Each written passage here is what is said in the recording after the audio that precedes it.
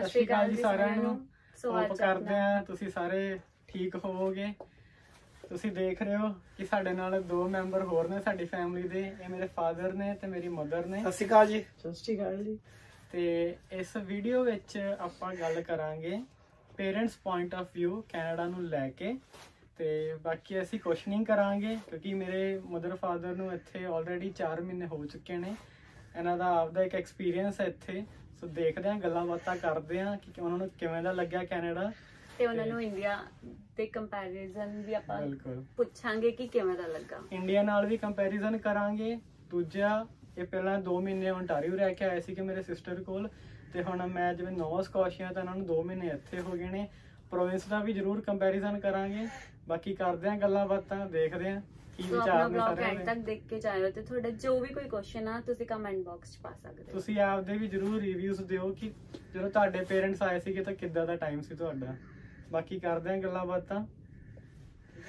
ਦੱਸੋ ਜੀ ਕਿਵੇਂ ਦਾ ਲੱਗਿਆ ਕੈਨੇਡਾ? ਸਾਨੂੰ ਦੇਖੋ ਇਹ ਕੈਨੇਡਾ ਬਹੁਤ ਅੱਛਾ ਲੱਗਿਆ।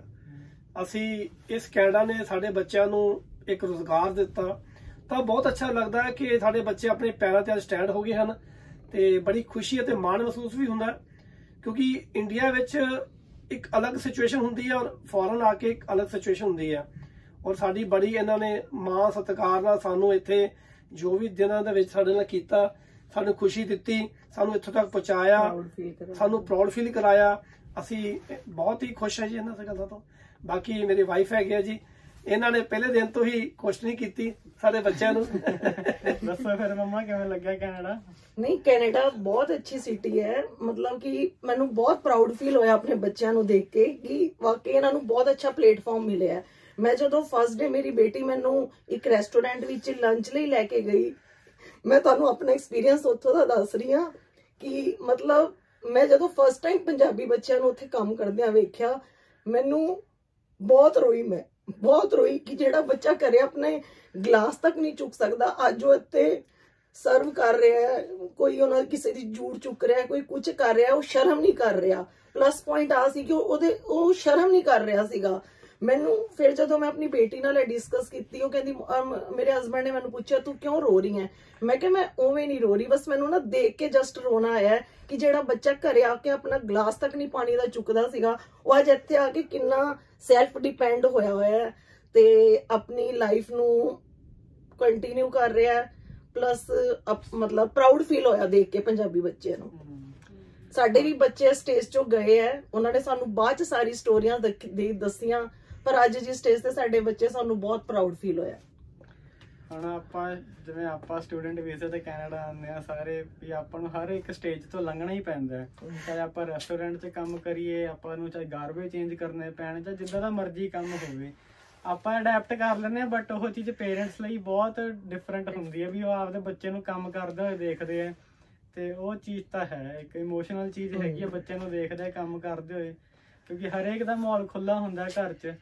ਤੇ ਬਾਕੀ ਹੋਰ ਦੱਸੋ ਹੋਰ ਕਿਵੇਂ ਲੱਗਿਆ ਕੈਨੇਡਾ? ਹੋਰ ਬਹੁਤ ਅੱਛਾ ਨੋ ਡਾਊਟ ਹੋ। ਬਹੁਤ ਅੱਛਾ ਅੰਟਾਰੀਓ ਬਹੁਤ ਅੱਛੀ ਸਿਟੀ ਸੀ। ਮੇਰੀ ਬੇਟੀ ਨੇ ਸਾਨੂੰ ਹਰ ਥਾਂ ਤੇ ਘੁਮਾਇਆ ਹਰ ਰੈਸਟੋਰੈਂਟ 'ਚ ਇੰਡੀਅਨ ਰੈਸਟੋਰੈਂਟ ਕੈਨੇਡੀਅਨ ਰੈਸਟੋਰੈਂਟ ਸਾਰੇ ਅਸੀਂ ਹਰ ਤਰ੍ਹਾਂ ਦੇ ਫੂਡ ਮਤਲਬ ਉੱਥੇ ਖਾਦੇ ਪਰ ਸਾਨੂੰ ਇੰਨੀ ਨਈ ਨੌਲੇਜ ਸੀਗੀ ਇੰਡੀਆ ਦੇ ਮਤਲਬ ਇੱਥੋਂ ਦੇ ਕੈਨੇਡੀਅਨ ਫੂਡਸ ਦੀ। ਬਟ ਉਹਨੇ ਸਾਨੂੰ ਹਰ ਰੈਸਟੋਰੈਂਟ ਤੇ ਲਿਜਾ ਕੇ ਸਾਨੂੰ ਖਿਲਾਇਆ ਨੌਲੇਜ ਦਿੱਤੀ। ਤੇ ਸਾਨੂੰ ਉਹ ਵੀ ਅੱਛਾ ਲੱਗਾ ਬਟ ਇੰਡੀਅਨ ਰੈਸਟੋਰੈਂਟ ਜਿਹੜਾ ਐਂਟਾਰੀਓ ਵਿੱਚ ਕਿੰਗਸਟਨ ਚ ਹੈਗਾ ਮਿੰਟ ਲੀਫ ਉਹ ਬਹੁਤ ਹੀ ਅੱਛਾ ਉੱਥੇ ਸਾਰੀ ਇੰਡੀਅਨ ਚੀਜ਼ਾਂ ਸਾਨੂੰ ਮਿਲੀਆਂ, ਜਿਵੇਂ ਕਿ ਆਪਾਂ ਇੰਡੀਆ ਵਿੱਚ ਖਾਣਾ ਖਾਣਾ ਹੈ, ਖਾਣਾ ਖਾਣ ਜਾਂਦੇ ਆ ਬਹੁਤ ਅੱਛਾ ਰੈਸਟੋਰੈਂਟ ਹੈ ਔਰ ਉੱਥੇ ਸਾਰਾ ਪੰਜਾਬੀ ਸਟਾਫ ਹੈ। ਸਾਨੂੰ ਉਹਨਾਂ ਨੇ ਬਹੁਤ ਕੋਆਪਰੇਟ ਕੀਤਾ, ਆ ਕੇ ਪੁੱਛਿਆ ਵੀ ਬਹੁਤ ਅੱਛਾ ਰਿਹਾ ਸਾਡਾ ਉਹ ਐਕਸਪੀਰੀਅੰਸ ਹੈਲੀਫੈਕਸ 'ਚ ਨਹੀਂ ਕੋਈ ਰੈਸਟੋਰੈਂਟ ਵਧੀਆ ਨਹੀਂ ਲੱਗਿਆ ਹੈਲੀਫੈਕਸ ਦਾ ਵੀ ਦੱਸਾਂਗੇ। ਹੈਲੀਫੈਕਸ ਦਾ ਵੀ ਦੱਸਾਂਗੇ। ਹੈਲੀਫੈਕਸ ਵੀ ਅਸੀਂ ਆਏ ਆ ਲੈ ਕੇ ਗਏ ਆ ਸਾਨੂੰ। ਇੱਥੇ ਵੀ ਸਾਨੂੰ ਸਾਰਿਆਂ ਨਾਲੋਂ ਬੈਸਟ ਇੰਡੀਅਨ ਪੈਰਾਡਾਈਜ਼ ਲੱਗਿਆ ਕਿਉਂਕਿ ਉੱਥੇ ਸਾਰੀ ਚੀਜ਼ਾਂ ਸਾਨੂੰ ਮਿਲੀਆਂ ਜੋ ਆਪਾਂ ਇੰਡੀਆ ਵਿੱਚ ਖਾ ਸਕਦੇ ਆ ਅਸੀਂ ਬਹੁਤ ਰੈਸਟੋਰੈਂਟਾਂ 'ਚ ਗਏ ਆ ਪਰ ਸਾਨੂੰ ਉੱਥੋਂ ਵਰਗਾ ਸਵਾਦ ਕਿੱਥੇ ਨਹੀਂ ਮਿਲਿਆ। ਮਤਲਬ ਗੱਲ ਇਹ ਤੁਸੀਂ ਵੀ ਰਿਲੇਟ ਕਰਦੇ ਹੋਵੋਗੇ ਵੀ ਪੇਰੈਂਟਸ ਨੂੰ ਕੈਨੇਡੀਅਨ ਫੂਡ ਤਾਂ ਨਹੀਂ ਵਧੀਆ ਲੱਗਦਾ। ਹਾਂ, ਜੋ ਮਰਜ਼ੀ Canadian ਹੋ ਜਾਏ ਇੰਡੀਅਨ ਤਾਂ ਤੁਹਾਨੂੰ ਲੱਭ ਕੇ ਰੱਖਣਾ ਹੀ ਪੈਣਾ ਇੰਡੀਅਨ ਤੇ ਹੀ ਜਾਣਾ। ਬਿਲਕੁਲ ਨਹੀਂ ਵਧੀਆ ਲੱਗੂਗਾ। ਕਿਉਂਕਿ ਆਪਣਾ ਟੇਸਟ ਫਿਰ ਵੀ ਡਿਵੈਲਪ। ਹੋਇਆ ਹੁੰਦਾ ਤੁਸੀਂ ਇਹ ਵੀ ਇਹ ਗੱਲ ਸੋਚਦੇ ਹੋਵੋਗੇ ਜਦੋਂ ਮਾਪਿਓ ਇੱਕ ਵਾਰੀ ਪਹਿਲੀ ਵਾਰੀ ਫਸਟ ਵਾਰੀ ਤੁਸੀਂ ਰੈਸਟੋਰੈਂਟ ਲੈ ਕੇ ਜਾਂਦੇ ਹੋ ਤਾਂ ਮਾਪਿਓ ਤਾਂ ਬੜੇ ਉਤਾਵਲੇ ਕੇ ਪੁੱਛਦੇ ਆ ਕਿ ਬੇਟਾ ਕਿੰਨੇ ਪੈਸੇ ਲੱਗ ਗਏ ਕਿੰਨੇ ਡਾਲਰ ਲੱਗ ਗਏ? ਇਹ ਮੇਰੀ ਵਾਈਫ ਦਾ ਕੁਐਸਚਨ ਸੀਗਾ। ਤੇ ਉਹ ਹਰ ਚੀਜ਼ ਨੂੰ ਕੈਲਕੂਲੇਟ ਕਰਦੀ ਹੈ ਜੇ ਡਾਲਰ ਆਮ ਗਏ ਆ ਤਾਂ ਉੱਥੇ ਵੀ ਸਾਨੂੰ ਕੈਲਕੂਲੇਟ ਕਰਦੇ ਆ ਵੀ ਕਿੰਨੇ ਦੀ ਪਈ ਆ। ਤਾਂ ਇੱਥੇ ਇਹ ਬੱਚਿਆਂ ਨੂੰ ਕਦੀ ਵੀ ਫੀਲ ਨਾ ਕਰਾਓ। ਮੈਂ ਤੁਹਾਨੂੰ ਇੱਕ ਜੋਕ ਵਾਲੀ ਗੱਲ ਦੱਸਦੀ ਹਾਂ। ਜੋ ਕਿ ਐਜ਼ ਅ ਜੋਕ ਹੀ ਕਹਿ ਲਓ। ਮੈਨੂੰ ਬੱਚੇ ਉੱਥੇ ਲੈ ਕੇ ਗਏ, ਸਾਨੂੰ ਕਿਸੇ ਮਾਲ 'ਚ ਮੈਨੂੰ ਕਹਿੰਦਾ, ਮੈਂ ਕਿਹਾ ਮੇਰਾ ਭਿੰਡੀਆਂ ਖਾਣ ਤੇ ਬਹੁਤ ਦਿਲ ਹੈ, ਹੈਨਾ? ਤੇ ਮੈਂ ਭਿੰਡੀਆਂ ਦੀ ਪੂਰੀ ਥੈਲੀ ਭਰ ਲਈ। ਤੇ ਮੇਰੀ ਬੇਟੀ ਮੈਨੂੰ ਕਹਿੰਦੀ, ਮੰਮਾ, ਇਹ ਕਿੰਨੇ ਦੀਆਂ ਭਿੰਡੀਆਂ ਤੂੰ ਲੈ ਕੇ ਆਈ ਹੈ? ਮੈਂ ਕਿਹਾ, ਹੋਏਗੀ ਅੱਧਾ ਕਿਲੋ। ਤੇ ਮੈਨੂੰ ਕਹਿੰਦੀ, ਮੰਮਾ 1000 ਦੀ ਤੂੰ ਲੈ ਕੇ ਆਈ ਹੈ। ਮੈਂ ਉੱਥੇ ਲਿਫਾਫਾ ਰੱਖ ਦਿੱਤਾ। ਮੈਂ ਕਿਹਾ 1000 ਦੀਆਂ ਇੰਨੀਆਂ ਪਿੰਡੀਆਂ ਕਹਿੰਦੀ, ਜੇ ਤੁਸੀਂ ਤਾਂ ਪਾਪਾ ਨੇ ਖਾਣੀਆਂ, ਆਪਣੀਆਂ ਪੰਜ ਪੰਜ ਕੱਢ ਲਓ, ਸਾਡੇ ਲਈ ਰਹਿਣ ਦਿਓ ਇਹ ਪਿੰਡੀਆਂ ਉਹ ਤਾਂ ਵੀ 300 ਦੀਆਂ ਸੀਗੀਆਂ। ਮਤਲਬ ਇਹਨਾਂ ਚੀਜ਼ਾਂ ਦਾ ਜੇ ਆਪਾਂ ਕੰਪੈਰੀਜ਼ਨ ਕਰੀਏ ਕਿ ਇਹ ਉੱਥੇ ਇੰਡੀਆ ਵਿੱਚ 20 ਰੁਪਏ ਕਿਲੋ ਮਿਲਦੀਆਂ ਪਈਆਂ ਇੱਥੇ ਅਸੀਂ 350 ਦੀ ਭਿੰਡੀ ਸਾਡੇ ਅੰਦਰ ਬਹੁਤ ਮੁਸ਼ਕਿਲ ਲੰਗੀ ਹੈ ਬਸ ਇਹਨਾਂ ਚੀਜ਼ਾਂ ਦਾ ਕੰਪੈਰੀਜ਼ਨ ਥੋੜਾ ਜਿਹਾ ਹੋ ਰਿਹਾ ਗੋਭੀ ਦਾ ਫੁੱਲ 250 ਰੁਪਏ ਦਾ ਉਹ 20 ਵਾਰੀ ਸੋਚਦੇ ਆ, ਖਾਈਏ ਕਿ ਨਾ ਖਾਈਏ? ਪਰੌਂਠੇ। ਗੱਲ ਉਹੀ ਹੈ ਨਾ ਪੰਜਾਬੀਆਂ ਨੂੰ ਪੰਜਾਬ ਤੋਂ ਕੱਢ ਦੋਗੇ ਬਟ ਪੰਜਾਬੀ ਤੇ ਦਿਲ ਚੋਂ ਨਹੀਂ ਪੰਜਾਬ ਨਿਕਲ ਹਾਂ ਯੈਸ ਯੈਸ ਇਹ ਕਦੀ ਵੀ ਕੰਪੈਰੀਜ਼ਨ ਨਾ ਕਰੋ ਇੰਡੀਆ ਦੇ ਨਾਲ। ਆਪਦੇ ਬੱਚਿਆਂ ਨੂੰ ਕਦੀ ਵੀ ਲੋ ਫੀਲ ਨਾ ਕਰਾਓ। ਬੱਚਿਆਂ ਨੂੰ ਪ੍ਰਾਊਡ ਫੀਲ ਕਰਾਓ। ਜੇ ਉਹ ਆਪਣੇ ਤੇ ਅੱਜ ਐਕਸਪੀਰੀਅੰਸ ਹੋ ਗਿਆ ਨਾ ਵੀ ਐਦਾਂ ਉਹ ਆਪਣੇ ਅਗਰ ਆਪਣੇ ਤੇ ਕੋਈ ਅੱਜ ਖਰਚ ਕਰਦੇ ਆ ਤਾਂ ਤੁਸੀਂ ਵੀ ਉਹਨਾਂ ਤੇ ਕੁਝ ਇਨਵੈਸਟ ਕੀਤਾ ਹੋਇਆ। ਤਾਂ ਅੱਜ ਬੜੀ ਖੁਸ਼ੀ ਹੁੰਦੀ ਹੈ ਪ੍ਰਾਊਡ ਫੀਲ ਕਰਦੇ ਆ ਕਿ ਬੱਚਿਆਂ ਨੇ ਸਾਨੂੰ ਇੰਨੇ ਜੋਗਾ ਕਰਤਾ। ਕਿ ਅੱਜ ਅਸੀਂ ਦੂਸਰੇ ਦੇਸ਼ ਵਿੱਚ ਅਸੀਂ ਵਧੀਆ ਘੁੰਮ ਰਹੇ ਹਾਂ, ਲੋਕਾਂ ਨੂੰ ਮਿਲ ਰਹੇ ਹਾਂ। ਔਰ ਦੇਖਿਆ ਜਾਵੇ ਤਾਂ ਕਮਿਊਨਿਟੀ ਦੀ, ਅਗਰ ਫੋਰਨਰ ਕਮਿਊਨਿਟੀ ਇਹਨਾਂ ਦੇ ਆਪਾਂ ਦੇਖਿਆ ਜਾਵੇ ਤਾਂ ਬਹੁਤ ਹੀ ਪੋਲਾਈਟਲੀ ਇੱਕ ਮੈਂ ਤੁਹਾਨੂੰ ਆਪਦਾ ਇੱਕ ਨਾਲ ਸ਼ੇਅਰ ਕਰਨਾ ਚਾਹੁੰਦਾ ਕਿ ਪਿੱਛੇ ਜੇ ਬਰਫ਼ ਪਈ ਸੀ ਹੈਲੀਫੈਕਸ ਵਿੱਚ। ਮੈਂ, ਮੇਰਾ ਬੇਟਾ, ਮੇਰੀ ਵਾਈਫ ਅਸੀਂ ਸਾਰੇ ਜਾਣੇ, ਬੇਟੀ ਵੀ ਸਾਡੇ ਨਾਲ ਸੀਗੀ। ਅਸੀਂ ਸਾਰੇ ਜਾਣੇ ਅਸੀਂ ਬਾਜ਼ਾਰ 'ਚ ਘੁੰਮ ਕੇ ਆ ਰਹੇ ਸੀ ਤੇ ਲੇਕਿਨ ਸਾਡੀ ਗੱਡੀ ਕਿਤੇ ਬਰਫ਼ 'ਚ ਫਸ ਗਈ। ਔਰ ਗੱਡੀ ਨਿਕਲੇ ਨਾ। ਲੇਕਿਨ ਉਹਨਾਂ ਨੇ ਆ ਕੇ ਸਾਡੇ ਨਾਲ ਪੂਰੀ ਹੈਲਪ ਕਰਾਈ। ਸਾਨੂੰ ਪੂਰੀ ਗੱਡੀ ਨੂੰ ਉਹਨਾਂ ਨੇ ਕੱਢਿਆ ਬਾਹਰ। ਤਾਂ ਇਹ ਬੜੇ ਲੋਕ ਕੋਆਪਰੇਟਿਵ ਹੈ ਔਰ ਬੜੇ ਨਾਈਸ ਹੈ ਔਰ ਇਹ ਚਾਹੁੰਦੇ ਆ ਕਿ ਸਾਡੇ ਨਾਲ ਗੱਲਬਾਤ ਕਰਨ।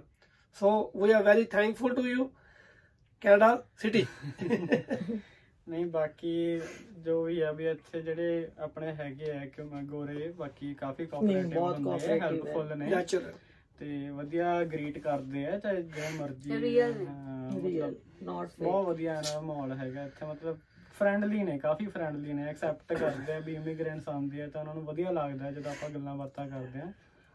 ਤੇ ਤੇ ਇੱਥੇ ਅੱਗੇ ਤੁਹਾਨੂੰ ਕੈਨੇਡਾ ਦੇ ਰੂਲ ਰੈਗੂਲੇਸ਼ਨਸ ਕਿਵੇਂ ਦੇ ਹਾਂ। ਲੱਗੇ ਉਹ ਉਹ ਬਹੁਤ ਅੱਛੇ ਨੇ ਕਿਉਂਕਿ ਉੱਥੇ ਜਸਟ ਜਿਵੇਂ ਆਪਾਂ ਕਾਰ ਚਲਾਉਂਦੇ ਆ ਤੇ ਸੜਕ ਦੇ ਅੱਗੇ ਕੋਈ ਅਵਾਰਾ ਕੁੱਤਾ ਜਾਂ ਕੋਈ ਜਾਨਵਰ ਆ ਜਾਂਦਾ ਐਕਸੀਡੈਂਟ ਹੋਣ ਦੇ ਚਾਂਸ ਹੈ ਉੱਥੇ। ਇੰਡੀਆ 'ਚ ਬਹੁਤ ਜ਼ਿਆਦਾ ਇਦਾਂ ਦੇ ਚਾਂਸਸ ਹੈ ਕਿ ਕੋਈ ਜਾਨਵਰ ਅੱਗੇ ਆ ਗਿਆ, ਕੋਈ ਬ੍ਰੇਕ ਲਗਾਣੀ ਮੁਸ਼ਕਿਲ ਹੋ ਗਈ।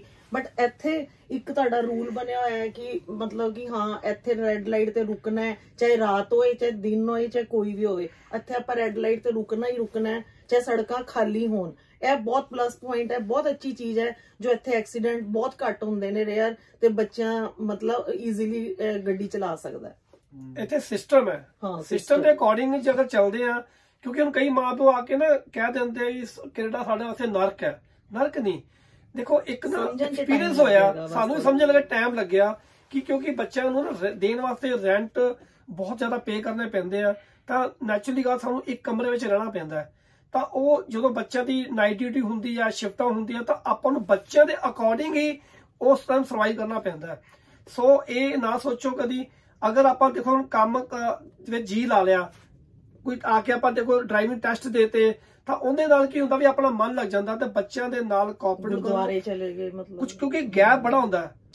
ਕਈ ਵਾਰੀ ਬੱਚਿਆਂ ਨੂੰ ਇਹ ਫੀਲ ਹੁੰਦਾ ਕਿ ਸਾਡੇ ਅਸੀਂ ਮਾਂ ਪਿਓ ਸਰਵਾਈਵ ਕੀਤਾ ਇਸ ਗੱਲ ਦਾ ਕਿ ਜਦੋਂ ਬੱਚੇ ਡਿਊਟੀ ਤੇ ਹੁੰਦੇ ਅਸੀਂ ਕਮਰੇ 'ਚ ਕੈਦ ਹੋ ਗਏ ਸੀਗੇ ਉਹਨਾਂ ਦਿਨਾਂ 'ਚ ਅਸੀਂ ਰੋਏ ਵੀ ਆ ਐਦਾਂ ਦੀ ਗੱਲ ਅਸੀਂ ਝੂਠ ਨਹੀਂ ਬੋਲ ਰਹੇ। ਅਸੀਂ ਰੋ ਕੇ ਵੀ ਟਾਈਮ ਕੱਟਿਆ ਜਦੋਂ ਬੱਚੇ ਡਿਊਟੀ ਤੇ ਹੁੰਦੇ ਆ। ਅਸੀਂ ਇਕੱਲੇ ਕਮਰੇ 'ਚ ਬੈਠ ਕੇ ਕਿ ਕੀ ਕਰੀਏ ਕਿੱਥੇ ਜਾਈਏ? ਫਿਰ ਅਸੀਂ ਗੁਰਦੁਆਰਾ ਸਾਹਿਬ ਬੇਟੇ ਨੇ ਦੱਸਿਆ ਕਿ ਮੰਮਾ ਇੱਥੇ ਚਲੇ ਜਾਇਆ ਕਰੋ। ਫਿਰ ਅਸੀਂ ਉੱਥੇ ਗਏ। ਸਾਨੂੰ ਬਹੁਤ ਪੰਜਾਬੀ ਫੈਮਿਲੀ ਮਿਲੀ ਉਹਨਾਂ ਨੇ ਸਾਡੇ ਨਾਲ ਆਪਣੇ ਸਾਰੀਆਂ ਗੱਲਾਂ ਸ਼ੇਅਰਸ ਕੀਤੀਆਂ। ਤੇ ਤੁਸੀਂ ਆਇਆ ਕਰੋ ਗੁਰਦੁਆਰੇ। ਮਤਲਬ ਇੱਥੇ ਵਿਜ਼ਟਰ ਵੀਜ਼ਿਆਂ ਵਾਲੇ ਵਿਜ਼ਟਰ ਵੀਜ਼ਾ ਲਈ ਜਿਹੜੇ ਆਂਦੇ ਆ ਲੋਕ, ਉਹਨਾਂ ਲਈ ਥੋੜਾ ਔਖਾ ਸਰਵਾਈਵ ਕਰਨਾ। ਪਰ ਇੱਕ ਬੱਚਿਆਂ ਦੀ ਵੀ ਚਾਹ ਹੁੰਦੀ ਹੈ ਕਿ ਨਹੀਂ ਪੇਰੈਂਟਸ ਨੂੰ ਕਿ ਅਸੀਂ ਰਹਿਣਾ, ਇਹਨਾਂ ਕੋਲ ਮਿਲਣਾ ਤੇ ਆਪਾਂ ਨੂੰ ਉਹਨਾਂ ਦੇ ਅਕੋਰਡਿੰਗ ਥੋੜਾ ਜਿਹਾ ਟਲਣਾ ਹੀ ਪਏਗਾ। ਬਾਕੀ ਅਸੀਂ ਕਾਫੀ ਸੁਣਦੇ ਆ ਵੀਡੀਓਜ਼ ਵਗੈਰਾ ਵੀ ਦੇਖਦੇ ਹੁੰਦੇ ਆ ਕਿ ਕੈਨੇਡਾ ਨੂੰ ਬਹੁਤ ਮਾੜਾ ਕਿਹਾ ਜਾਂਦਾ ਹੈ। ਬਟ ਸਾਡਾ ਆਪਦਾ ਜੇ ਪੁਆਇੰਟ ਆਫ View ਦੇਖੀਏ ਤਾਂ ਕੈਨੇਡਾ ਮਾੜਾ ਨਹੀਂ ਹੈ। ਇਨਸਾਨ ਦੇ ਆਪਦੇ ਹੱਥ 'ਚ ਹੁੰਦਾ ਹੈ ਕਿ ਉਹ ਆਪਦੀ ਲਾਈਫ ਨੂੰ ਕਿਵੇਂ ਜੀਣਾ ਚਾਹੁੰਦਾ ਹੈ। ਮੇਰੇ ਫਾਦਰ ਨੇ ਡਰਾਈਵਿੰਗ ਲਾਇਸੈਂਸ ਲਿਆ ਇੱਥੇ ਆ ਕੇ ਕਲੀਅਰ ਕੀਤਾ ਟੈਸਟ ਤੇ ਗੱਡੀ ਵੀ ਚਲਾਈ ਫਿਰ ਗੁਰਦੁਆਰੇ ਜਾਣਾ ਨਾਲ ਮੇਰੇ ਜਿਮ ਜਾਣਾ। ਸੋ ਉਹ ਆਪਦੇ ਆਪ ਨੂੰ ਕਰਨਾ ਹੀ ਪੈਂਦਾ ਪਤਾ ਹੈ ਨਹੀਂ ਕਿ ਬਈ ਚੱਲਿਆ, ਦਿਲ ਹਾਂ। ਲਾਣਾ ਹੀ ਪੈਂਦਾ। ਤੇ ਇੱਕ ਉਹ ਚੀਜ਼ ਹੋ ਜਾਂਦੀ ਹੈ ਥੋੜੀ ਪੇਰੈਂਟਸ ਲਈ ਔਖੀ ਬਟ ਤੁਸੀਂ ਵੀ ਟਰਾਈ ਕਰੋ ਕਿ ਵੀ ਪੇਰੈਂਟਸ ਨੂੰ ਹਰ ਚੀਜ਼ 'ਚ ਇੰਗੇਜ ਕਰਕੇ ਰੱਖੋ ਉਹਨਾਂ ਦਾ ਦਿਲ ਲਾ ਕੇ ਰੱਖੋ ਔਖਾ ਹੈਗਾ ਬਟ ਵਧੀਆ। ਐਕਸਪੀਰੀਅੰਸ ਸੀਗਾ। ਜਿਵੇਂ ਜਿਵੇਂ ਜਾਣ ਦਾ ਟਾਈਮ ਨਜ਼ਦੀਕ ਆ ਰਿਹਾ ਹੈ, ਸਾਨੂੰ ਥੋੜਾ ਹੌਲ ਵੀ ਪੈ ਰਿਹਾ ਕਿ ਬੱਚਿਆਂ ਤੋਂ ਦੂਰ ਹੋਣਾ ਹੈ ਬਸ ਸਾਡੀ ਅਹ, 25th ਦੀ ਇੱਥੋਂ ਕਿੰਗਸਟਨ ਲਈ ਫਲਾਈਟ ਹੈ ਫਿਰ 10 ਜਨਵਰੀ ਤੋਂ ਟੋਰਾਂਟੋ ਲਈ ਅਸੀਂ ਬੱਚਿਆਂ ਨੂੰ ਇਹ ਕਹਾਂਗੇ ਕਿ ਵੀ ਨਸ਼ੇ ਪੱਤਿਆਂ ਤੋਂ ਦੂਰ ਰਹੋ ਤੇ ਆਪਣਾ ਜਿਵੇਂ ਤੁਹਾਨੂੰ ਸੰਸਕਾਰ ਮਿਲੇ ਨੇ ਉਹਨਾਂ ਦੇ ਅਕੋਰਡਿੰਗ ਹੀ ਚੱਲੋ ਤੇ ਰੱਬ ਨੂੰ ਜ਼ਰੂਰ ਯਾਦ ਰੱਖੋ ਹਰ ਪਲ ਪਲ ਤੇ। ਕਿਉਂਕਿ ਗੱਲ ਪਤਾ ਇਹ ਹੈ ਕਿ ਅੱਜ ਕੱਲ ਬਹੁਤ ਕੁਝ ਸੁਣਨ ਚ ਆ ਰਿਹਾ ਕਿ ਆਪਣੇ ਪੰਜਾਬੀ ਬੱਚੇ ਕਾਫੀ ਮਤਲਬ ਉਹਨਾਂ ਨਾਲ ਗਲਤ ਹੋ ਰਿਹਾ ਮਤਲਬ ਹੋਮਲੈਸ ਹੋ ਰਹੇ ਨੇ ਕਈ ਤੇ ਜਿਵੇਂ ਤੁਸੀਂ ਡੈਥ ਰੇਸ਼ੀਓ ਵੀ ਦੇਖਿਆ ਹੋਣਾ ਹਾਰਟ ਅਟੈਕ ਕਰਕੇ ਤੇ. ਡਿਪਰੈਸ਼ਨ ਚ ਜਾ ਰਹੇ ਨੇ। ਏਦਾਂ ਦੀ ਗੱਲ ਨਹੀਂ ਹੈ। ਕੈਨੇਡਾ ਸਿਰਫ ਹੁਣ ਤਾਂ ਇੱਕ- 네ਗੇਟਿਵ ਹੀ। ਹੈ ਉਹ ਵੀ ਚੀਜ਼ ਲਾਂਚ ਕਰਤੀ ਕਿ ਤੁਸੀਂ ਐਨੀ ਟਾਈਮ ਕਾਲ ਕਰ ਸਕਦੇ ਹੋ ਜੇ ਕੋਈ ਡਿਪਰੈਸ਼ਨ ਚ ਆ ਜਾਂ ਕੁਝ ਵੀ ਹੈਲਪਲਾਈਨ ਗੁਰਦੁਆਰਾ ਸਾਹਿਬ ਜਾਓ ਤੁਸੀਂ ਜਿਮ ਜਾਓ ਤੁਹਾਡਾ ਦਿਲ ਜ਼ਰੂਰ ਲੱਗੂਗਾ ਤੁਹਾਨੂੰ ਵਧੀਆ ਫੀਲ ਹੋਊਗਾ। ਕਿਸੇ ਨਾਲ ਆਪਦੀ ਗੱਲ ਸ਼ੇਅਰ ਕਰੋ ਆਪਦੇ ਪੇਰੈਂਟਸ ਨਾਲ ਗੱਲ ਸ਼ੇਅਰ ਕਰੋ ਤੇ ਬਾਕੀ ਹੋਰ ਕੁਝ ਤੁਸੀਂ ਆਪਦੇ ਬਾਕੀ ਜਿਹੜਾ- ਦੀ ਕਰਨਾ। ਸਨੋ ਕਿਵੇਂ ਦੀ ਲੱਗੀ? ਸਨੋ ਬਹੁਤ ਵਧੀਆ ਲੱਗੀ। ਮੇਰੀ ਡਾਟਰ ਨੇ ਨੇ ਮੇਰੀਆਂ ਬਹੁਤ ਪਿਕਸ ਕੀਤੀਆਂ ਨੇ। ਘਰ ਦੇ ਬਾਹਰ ਹੀ ਸਨੋ ਸੀ ਐ ਲੱਗਦਾ ਸੀ ਜਿਵੇਂ ਅਸੀਂ ਗੁਲਮਰਗ ਘੁੰਮ ਰਹੇ ਆ ਕਸ਼ਮੀਰ ਦੀ ਗੁਲਮਰਗ ਸਿਟੀ ਵਿੱਚ। ਉੱਥੇ ਦੇਖੀ ਸੀ ਤੇ ਹੁਣ ਜਸਟ ਘਰ ਦੇ ਬਾਹਰ ਦੇਖੀ ਕਾਫੀ ਹੈ। ਕਾਫੀ ਸਮੇਂ ਤੋਂ ਜਿਹੜਾ ਬੱਚਿਆਂ ਦਾ ਗੈਪ ਹੈ ਜਾਂਦਾ ਨਾ ਤਾਂ ਬੱਚੇ ਵੀ ਚਾਹੁੰਦੇ ਆ ਵੀ ਮਾਪਿਓ ਸਾਨੂੰ ਉਹ ਵੀ ਪਿਆਰ ਕਰਨ ਜਿਵੇਂ ਬੱਚੇ ਸੀ ਪਰ ਮ- ਮਾਪਿਆਂ ਨੂੰ ਐ ਫੀਲ ਹੁੰਦਾ ਸਾਡੇ ਬੱਚੇ ਨੂੰ ਵੱਡੇ ਹੋ ਗਏ। ਹਨਾ? ਉਹ ਵੱਡੇ ਹੋਣ ਕਰਕੇ ਮਤਲਬ ਕਿ ਆਪਾਂ ਨੂੰ ਐ ਲੱਗਦਾ ਹੈ ਕਿ ਆਪਾਂ ਬੱਚੇ ਸਾਡੇ ਸਿਆਣੇ ਹੋ ਗਏ ਆ ਤੇ ਹੁਣ ਉਹ ਜਿਵੇਂ ਗਲਵਕੜੀਆਂ ਇਸ ਤਰ੍ਹਾਂ ਪਿਆਰ ਪਰ ਬੱਚੇ ਪਾਲਦੇ ਆ। ਸੋ ਆਪਣੇ ਬੱਚਿਆਂ ਨਾਲ ਪਿਆਰ ਕਰਿਆ ਕਰੋ ਗਲਵਕੜੀ ਪਾ ਕੇ ਉਹਨਾਂ ਨਾਲ ਪਿਆਰ ਕਰਿਆ ਕਰੋ ਚੁੰਮਿਆ ਕਰੋ। ਤੋਂ ਇਹ ਕਿਉਂਕਿ ਬੱਚੇ ਚਾਹੁੰਦੇ ਦਿਲੋਂ ਚਾਹੁੰਦੇ ਆ। ਇਹ ਮੈਨੂੰ ਮੈਂ ਫੀਲ ਕੀਤਾ ਇੱਥੇ ਆ ਕੇ। ਸੋ ਇਹ ਬਹੁਤ ਅੱਛਾ ਲੱਗਦਾ ਬੱਚਿਆਂ ਨੂੰ ਵੀ। ਤੇ ਜਲਦ ਅਸੀਂ ਇੰਡੀਆ ਵਾਪਸ ਜਾ ਰਹੇ ਆ ਪਰ ਜਾਣ ਨੂੰ ਜੀ ਤਾਂ ਨਹੀਂ ਕਰਦਾ ਪਰ ਕੀ ਕਰੀਏ ਹੁਣ? ਮਜਬੂਰੀਆਂ। ਮਜਬੂਰੀਆਂ। ਬਾਕੀ ਤੁਸੀਂ ਜਰੂਰ ਦੱਸਿਓ ਤੁਹਾਨੂੰ ਵਲੌਗ ਕਿੱਦਾਂ ਦਾ ਲੱਗਿਆ। ਆਪਦੇ ਕਮੈਂਟਸ ਕਰਿਓ ਰਿਵਿਊਜ਼ ਦਿਓ ਵੀ ਤੁਹਾਡਾ ਟਾਈਮ ਕਿੱਦਾਂ ਦਾ ਰਿਹਾ ਸੀਗਾ। ਬਾਕੀ ਤੁਹਾਡਾ ਕੋਈ ਵਿਜ਼ਿਟਰ ਵੀਜ਼ੇ ਨੂੰ ਲੈ ਕੇ ਕੋਈ ਵੀ ਡਾਊਟ ਹੋਇਆ ਤੁਹਾਨੂੰ ਕੋਈ ਇਨਫੋਰਮੇਸ਼ਨ ਚਾਹੀਦੀ ਹੋਈ ਤੁਸੀਂ ਉਹ ਵੀ ਸਾਨੂੰ ਪੁੱਛ ਸਕਦੇ ਹੋ। ਤੇ ਜੇ ਤੁਸੀਂ ਤੁਹਾਡੇ ਪੇਰੈਂਟਸ ਆਂਦੇ ਆ ਕੱਲ ਨੂੰ ਵਿਜ਼ਿਟਰ ਵੀਜ਼ੇ ਤੇ ਤੁਸੀਂ ਡਰਾਈਵਿੰਗ ਲਾਇਸੈਂਸ ਲੈਣਾ ਚਾਹੁੰਦੇ ਹੋ ਉਹਦੇ ਰਿਗਾਰਡਿੰਗ ਵੀ ਜੇ ਤੁਹਾਨੂੰ ਕੋਈ ਕੁਐਸਚਨ ਹੈਗਾ ਤੁਸੀਂ ਜਰੂਰ ਪੁੱਛਿਓ। ਕਿਉਂਕਿ ਓਨਟਾਰੀਓ ਤੇ ਹੈਲੀਫੈਕਸ ਦੇ ਰੂਲ ਬਹੁਤ ਡਿਫਰੈਂਟ ਆ। ਹਾਂਜੀ। ਜੇ ਤੁਹਾਡੇ ਪੇਰੈਂਟਸ ਕੱਲ ਨੂੰ ਵਿਜ਼ਿਟਰ ਵੀਜ਼ੇ ਤੇ ਆਉਂਦੇ ਆ ਤਾਂ ਤੁਹਾਨੂੰ ਇਸ ਚੀਜ਼ ਦਾ ਪਤਾ ਹੋਣਾ ਚਾਹੀਦਾ ਕਿ ਉਹ ਇੰਡੀਅਨ ਲਾਇਸੈਂਸ ਤੇ ਵੀ 90 ਡੇਜ਼ ਲਈ ਇੱਥੇ ਕਾਰ ਚਲਾ ਸਕਦੇ ਨੇ। ਸੋ ਇਦਾਂ ਦੇ ਕੋਈ ਵੀ ਕੁਐਸਚਨਸ ਹੋਣ ਤੁਹਾਨੂੰ ਤਾਂ ਜ਼ਰੂਰ ਬਾਕੀ ਦੱਸਿਓ ਜੀ ਵਲੌਗ ਕਿੱਦਾਂ ਦਾ ਲੱਗਿਆ। ਮਿਲਦੇ ਆ ਨੈਕਸਟ ਵਲੌਗ ਵਿੱਚ। ਥੈਂਕਸ ਫॉर ਵਾਚਿੰਗ ਵਲੌਗ ਨੂੰ ਲਾਈਕ ਸ਼ੇਅਰ ਤੇ ਕਮੈਂਟ ਕਰ ਦਿਓ ਤੇ ਸਬਸਕ੍ਰਾਈਬ ਕਰ ਦਿਓ। Thank you so thank you ਜੀ। ਬਹੁਤ ਬਹੁਤ ਧੰਨਵਾਦ ਤੁਹਾਡਾ ਸਾਰਿਆਂ ਦਾ। Thank you